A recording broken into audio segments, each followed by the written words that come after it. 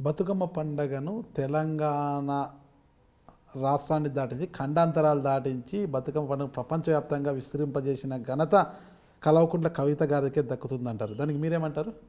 చాలా బాధ అనిపిస్తుంది అండి ఈ విషయంలో. ప్రతి మీడియా ఇట్లనే మాట్లాడుతూ ఉంటారు మమ్మల్ని క్వశ్చన్ చేస్తుంటారు. ఆమెను హైప్ చేస్తుంటారు. కల్వ కల్వకుంట్ల కవిత పుట్టక ముందు తరతరాలుగా వేల తరాల నుంచి యుగ యుగాల నుంచి బతుకమ్మ పండుగ తెలంగాణ సాంప్రదాయంలో ఉంది. తెలంగాణలో చాలా పండుగలు ఉంటాయి. అన్నిటికంటే ప్రాశస్తమైన పండుగ బతుకమ్మ పండుగ. ఆ పండుగను బీద బిక్కి ధనిక అన్ని వర్గాలు కూడా ఆ పండుగను ఎంతో సంబరంగా ఎంత హోదాకు దగ్గర వాళ్ళు ఎంత ఉన్నవాళ్ళు వాళ్ళు అట్లా జరుపుకుంటారు. కానీ ఇప్పుడు బత్ వాళ్ళ నాన్నగారైన చంద్రశేఖరరావు గారు ఎట్లా తెలంగాణ ఉద్యమాన్ని హైజాక్ చేసిండ్రో ఈ బతుకమ్మ పండుగను కల్వకుంట్ల కవిత హైజాక్ చేసింది. బతుకమ్మ పండుగను తెలంగాణ ఆడబిడ్డలు పెళ్ళి కాని వాళ్ళు కానివ్వండి పెళ్ళైన వాళ్ళు కానివ్వండి ఆ బతుకమ్మ పండుగను దాని గౌరవం ఉంటుంది పసుపు కుంకలు ఉంటాయి ఎంతో శుభప్రదంగా దాన్ని భావిస్తారు. పెళ్ళైన ఆడబిడ్డలైతే తల్లిగారింటికి వచ్చి వాళ్ళ భర్త గారి ఇంటి నుంచి వచ్చే కట్నాలతోటి వాళ్ళ భర్త ఇంటి పేరును గౌరవించుకుంటూ ఈ బతుకమ్మ పండుగను ఆడతారు. కానీ ఈరోజు కల్వకుంట్ల కవిత కేసీఆర్ గారు ఏ రకంగా అయితే దళితుల్ని సీఎం చేస్తా అని చెప్పి మోసం చేసిండ్రో ఈరోజు కల్వకుంట్ల కవిత కూడా సంస్కృతి సాంప్రదాయం పేరు మీద తెలంగాణ ప్రజలను కాకుండా మీరన్నట్టు కండ కందాంతరాలు వ్యాపింపజేస్తా తెలంగాణ బతుకమ్మను తెలంగాణ సాంప్రదాయం తెలియజెప్తున్నాను అనుట్లా నేను చాలా బాధపడుతున్నా తీవ్రంగా ఖండిస్తున్నా. ఎందుకంటే ఎందుకు ఖండిస్తున్నారు? భర్త ఇంటి పేరు గౌరవించలేని నువ్వు. బతుకమ్మ పండుగను ఖండాంతర వ్యాపం ఖండాంతరంగా వ్యాపింపజేస్తా అంటే అందులో ఏమన్నా అర్థం ఉందా అండి?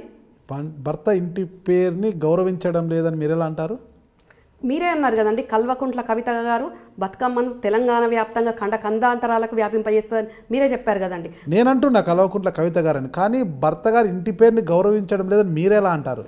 భర్త గారి ఇంటి పేరును గౌరవించినట్టయితే ఆ కల్వకుంట్ల కవిత ముందు కల్వకుంట్లకు ముందు భర్త ఇంటి పేరు పెట్టుకోవాలి కదండి. నేను ఇప్పుడు రెగ్యులపాటి రమ్యారావు అని నేను చెప్పుకుంటున్నాను. ఆమె కూడా అట్లా చెప్పుకోవాలి కదా భర్త ఇంటి పేరు గౌరవించాలి కదండి. ఆమె చెప్పుకోవట్లేదంటారా? మీరే చెప్పుకోవట్లేదు కాబట్టి మీలాంటి వాళ్ళు కల్వకుంట్ల కవిత అని అంటున్నారు. మీకు మీరే ఊహించుకొని అనట్లేదు బతుకమ్మ పండగ తెలంగాణ ప్రజలంతా సంబరంగా జరుపుకోవాలని ఇటీవల రవి చీరలు కూడా పంపిణీ చేశారు కదా. ఇదంతా కూడా ప్రజలపైన వారికి ఉన్న ప్రేమ కాదంటారా? ప్రజల పైన ప్రేమ ఉంటే వాళ్ళు చెప్పింది వాళ్ళు చెప్పిన బడ్జెట్ రెండు వందల ఇరవై కోట్లు. వాళ్ళు ఇస్తామన్న చీ చీరలు చేనేత చీరలు. తెలంగాణ ఆడబిడ్డలందరూ కూడా ముఖ్యమంత్రి గారు చేనేత చీరలు ఇస్తామన్నారు. మాకు బతుకమ్మ చీరలు ఇస్- మేమేం అడగలేదు. ఆయనకు ఆయన ఇస్తా అన్నారని చాలా సంబరంగా ఆశపడ్డాం. ఆ చీరల కోసం ఆ చీరలు కూడా ఒక ఆధార్ కార్డు తీసుకొని రావాలి రేషన్ కార్డు తీసుకొని రావాలి. అవి వస్తేనే మీకు ఓటు ఎట్లా ఇస్తారన్నట్టు బతుకమ్మ చీరలు ఇస్తామనంటే పాపం మామూలు మహిళలు రోజు కూలీ చేసుకున్న మహిళలు వాళ్ళ కూలీ కూడా కోల్పోయి రెండు వందలు కానీ మూడు వందలు కానీ వాళ్ళ కూలీలు కూడా కోల్పోయి ఎక్కడికక్కడ గ్రామ పంచాయతీల్లో ఆఫీసులో వెళ్ళి గంటల గంటలు నిలబడితే వాళ్ళకి ఈరోజు వచ్చిన చీరలు ముక్కిపోయి చిక్కిపోయి చీకిపోయిన అరవై డెబ్బై రూపాయల చీరలు వచ్చినాయి. కేసీఆర్ గారిని ఏ తెలంగాణ ఆడబిడ్డ అడిగిందండి? మాకు బతుకమ్మ పండగ చీరలు ఇవ్వమని? మీరు అడగలేదా? ఏ ఆడబిడ్డ అడగలేదండి. నేను కాదు ఏ ఆడబిడ్డ అడగలేదు. ఆయన్ని చెప్పిన ఆయన చెప్పిన ఏమో చేయరు. అడగని ఏమో చేస్తా అంటారు. చేసినా ఈ రకంగా ఉంటాయి. మరి తెలంగాణ ఆడబిడ్డలందరూ ఆత్మగౌరవం దెబ్బతినలేదా? మరి అవే బ కేసీఆర్ గారు తెలంగాణ ఆడబిడ్డలను ఒక రకంగా చిన్న చూపు ఆయన బిడ్డను ఒక రకంగా చూపు. మరి ఇప్పుడు కేసీఆర్ గారి కొడలు కానివ్వండి బిడ్డ కానివ్వండి కేసీఆర్ గారి భార్య కానివ్వండి మరి అవే బతుకమ్మ చీరలు బాలేదు కట్టుకొని బతుకమ్మలాడాలి. చెప్పండి. మరి కట్టుకోవాలి కదా.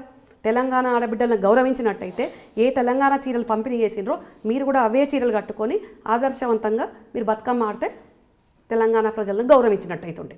మా తెలంగాణ ఆడబిడ్డలు కూడా కేసీఆర్ గారి భార్య బిడ్డ కోడలు ఇవే చీరలు అరవై డెబ్బై రూపాయలు ముక్కిపోయినాయి ముక్కిపోయినాయి రంధ్రాలు పడ్డాయి కట్టుకున్నారని వీళ్ళు కూడా ఏం బాధపడకపోతుండే వీళ్ళ ఆత్మగౌరవం దెబ్బతినకపోతుండే. కానీ తెలంగాణ ఆడబిడ్డలేమో ఈ రకం. కేసీఆర్ గారికి చిన్న చూపు. వాళ్ళ బిడ్డ భార్య కోడలేమో లక్షల చీరలు కట్టుకొని బతుకమ్మలు ఆడుతుంటే తెలంగాణ ఆడబిడ్డలు ఎంత మౌనంగా రోధించారు ఎంత బాధపడ్డారు? మీరు చూశారా మౌనంగా రోధించింది? చూసిందండి. నేను ఒక కాంగ్రెస్ పార్టీ లీడర్గా నేను ఒక దేవస్థానానికి వెళ్తే అక్కడ పంపిణీ జరుగుతుంటే ఆ ఆ చీరలు మాకు చూపించారు ప్రత్యక్షంగా. ఆ చీరలను చూసి వాళ్ళు మా కూలీలు పోయినాయి. మా కూలీకి తగ్గ కనీసం మా కూలీ పోగొట్టుకున్నందుకు మా కూలీకి తగ్గ చీర కూడా రాలేదు ఈరోజు. మా కూలీలు నాశనం అయిపోయినాయని ఏడ్చుకుంటూ ఆ చీరలని ఒక దగ్గర తగిలేసిండ్రు తగిలేసిండ్రండి ఎక్కడికక్కడ తగిలేసిండ్రు. తెలంగాణ ఆడబిడ్డలు. తెలంగాణ సాంప్రదాయంలో ఏ ఏ మేము ఏ ఫంక్షన్కి వెళ్ళినా ఒక చీర కాదు చిన్న జాకెట్ గుడ్డ పెట్టినా తెచ్చి దాచుకుంటాం. కానీ తగలబెట్టుకోం. కానీ వాళ్ళ ఆత్మగౌరవం ఎంత దెబ్బతింటే చీరలు తగలబెట్టే పరిస్థితి వచ్చింది తగలబెట్టారా? మీరు దగ్గరుండి తగలబెట్టించారా?